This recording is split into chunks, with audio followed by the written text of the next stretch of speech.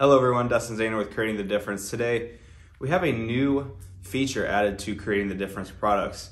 We've added a QR code onto the label.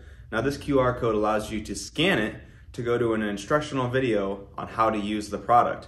So today we're gonna to be walking through how to scan a QR code and get to the video. All right, so first up, we're gonna find the QR code that's on the bottle itself here. Um, you're gonna need a device that can scan a QR code like a cell phone or a tablet. And first up, we're gonna do this with an iPhone. So all you have to do is take the bottle. You can see how it's focusing on that QR code at the bottom there.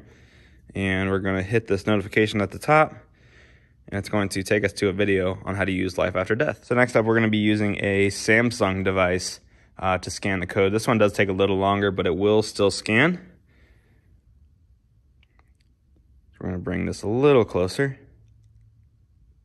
See how that popped up at the bottom there? Hit show options, open in browser, and that will pull up our video again on how to use life after death. So that's how to scan a QR code on the Creating the Difference bottles. Um, if you happen to forget that the code, the QR code is on the side of the bottle, there is also one on ctdbowling.com under the product that you're looking for. Uh, for example, for Life After Death, it is the last picture um, that's in the description of that product. So if you have any more questions or need more information on any of our products, go to ctdbowling.com. Dustin Zahner with Creating the Difference. Have a great day.